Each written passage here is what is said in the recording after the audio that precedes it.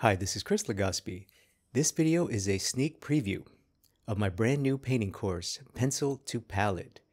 This course is a fully guided journey from drawing to full color painting. So if you want to learn more about this course and you want to get started painting, visit www.penciltopalette.art and there you can get instant access and start your painting journey. Okay, first thing I want to do is uh, I want to load uh, paints on my canvas and start making our first marks.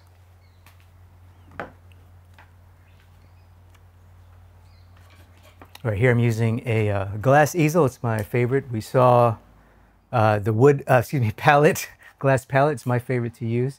Um, we could also uh, use the, um, the, the wood palette that came with the French easel, or if you prefer wood, the fancy, you know, you've seen those photos of the fancy artists with their wood palette and the, and the thing, and they do this. That, that will be you. So you're, and you're, you're welcome to do that as well. But I, I like glass. So we're just gonna load our paint. And um, what I like to do is load uh, from dark to light. I like brightest to darkest, so left to right for me. So my white almost always goes on the far upper left or far left, whatever, wherever. And uh, give yourself a nice long string of white there. You can use your palette knife here to make it look fancy, like that. That's just to organize. So um, the cleaner and more organized you are, the happier you, your life will be. Tr tr trust me. So um, for this painting, I normally would put, I, I normally don't use black actually, but um, I would put the darkest dark at the very end, but for this particular example, I'm just going to put it next to it since we're uh, only doing black and white here. So this would be your second two. Just try to be neat as you can, be neater than me. Obviously, your palette's going to be ugly, but um, neat, neatness is the habit that we want to build. Neatness, um, organization.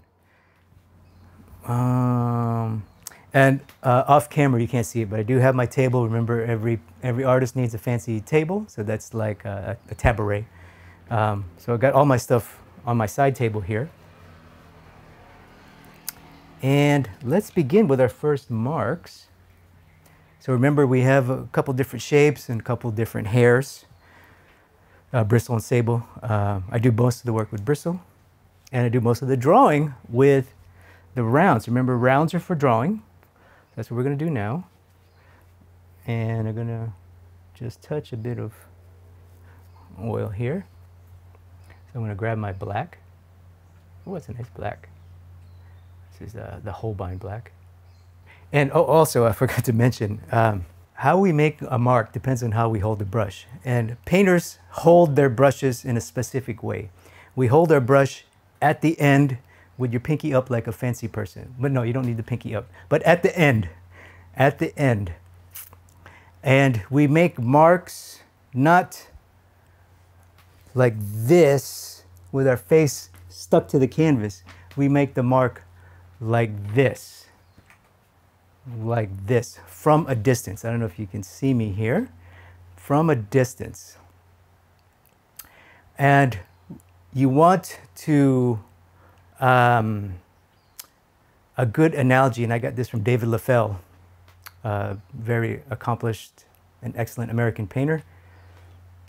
You want to make a mark like a rifleman. So imagine a rifleman shooting a gun uh, with a long rifle, you, you take your time. You take your time, you look, you point, and you aim before you fire. That's what we do with our brush. So you don't, you don't just go, uh, like that. You mean you can, but the proper stroke, the fancy stroke, the strokes that all the greats that we admire, the Sargents, the Rembrandts, the Bouguereaus, Come like a rifleman. Boom. You see? Like this. shoot, aim, fire, and mark. So you'll see it here. You'll see me make proper marks, hopefully. And of course, we can still do scrubbing. We need to do scrubbing. But that is the beginning of painting technique is how you hold the brush, how you hold the mark. And it's going to be very difficult because most likely you're watching this, you've probably been drawing like this, right? Doing the thing, holding the pencil like the thing, like the pencil. I call it the writing grip, the normal grip. When you come here, it's going to be difficult if you've never done it. And a brush is much heavier than a pencil. So there's more weight that your muscles will have to get used to, but it's worth it. And that's why we draw like this. Remember those of you who may be taking my drawing classes or other drawing classes, we always talk about this grip, the undercup grip, where you hold your pencil like this with the thumb on top. Why do we train this grip? Is so we can get ready for this bad boy. Undercup grip with the pencil prepares you to paint, to hold the brush properly. All right, so now I got my fancy grip. I got my fancy technique. Let's give it a try. Let's make our first mark. I got a round brush here. I got a little bit of walnut oil in my thing, and let's see.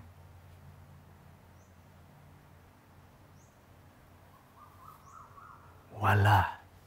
So that's pretty much the mark we make.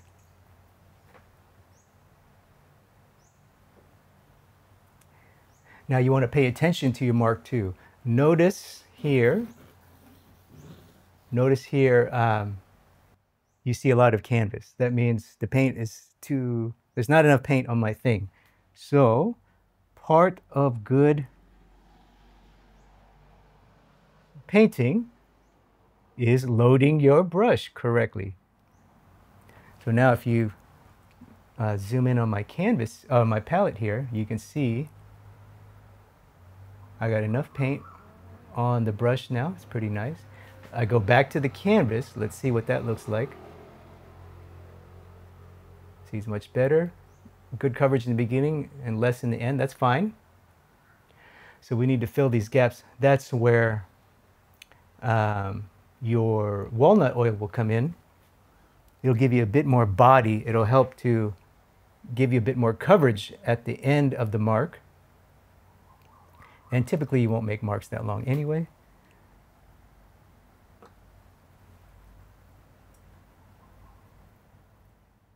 So if I put, I don't want to put too much oil or solvent or whatever, or Gamsol.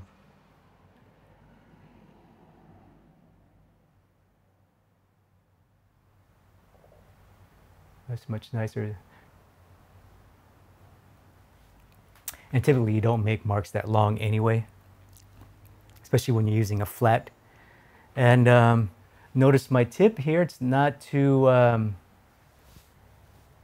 notice my tip is not too goopy. And that's good. And then you want to keep your thing, you don't want to, you want a big goop on there, a big, big blob of paint. So you want to be very careful. If it gets too goopy, that's, then you need to wipe it. And you probably, uh, if you're mixing a big gob of big amount of paint, you may want to use a knife. All right, let's keep, uh, let's make a few more marks. We're going to use a flat brush this time. So this is the bulk of the, the bulk of the work that, that we'll probably be doing. So it would be flats. So we're going to make some marks now. So I got a brand new bristle flat here. So this is going to pick up a lot more paint than that little round. So I want to carefully load it. If you can look at it, it's quite clean. You can see there's a lot of paint on there, but we won't really know until we make a mark. So let's make our mark.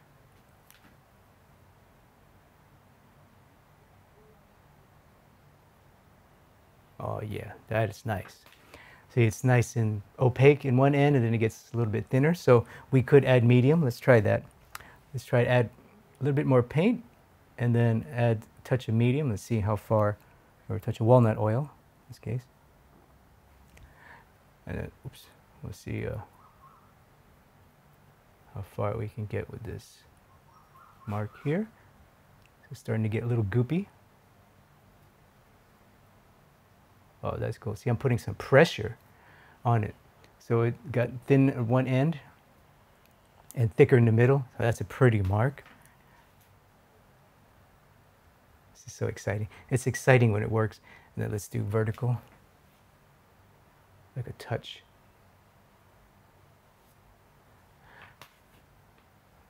And notice the tail at one end, you may want the tail or the, the feathery part at the other end. So you just make mark the opposite way.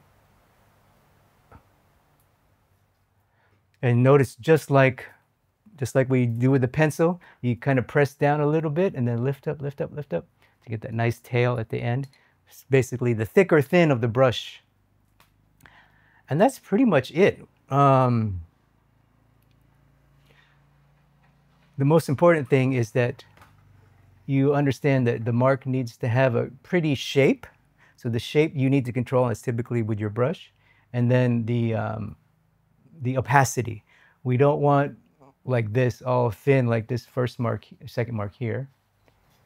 We want closer to this, nice and thick and opaque so we understand what we're doing. And um, just for fun, let's try a sable, just so you can see the difference that a sable makes. Let me find a sable here. So here I have a sable, and this is a synthetic sable. So you can see on the canvas. Let's see what this mark looks like. See, look at that. I don't know if you can see it, but see how the edge is much tighter and there's less that's, that's as far as I can go. If I try to do a tail or a soft feathery end, I won't be able to get that far. So you see how the tail is also softer. It has less of that grit. So this is why sables are cool, and this is why we, uh, we use them, or I, I like to use them. I recommend using them so you can get a softer mark. And that's what they're for. That's why, that's, that's really what they're for. That's the end of this video. I want to thank you for watching. If you like this video and you want to watch the full lesson and learn more about the course, visit www.penciltopalette.art. And there you can get instant access to the course and even start a free trial. So you can start your painting journey right away and make the transition from drawing to the brilliance of full color painting and become the painter you've always wanted to be. Visit www.penciltopalette.art to learn more.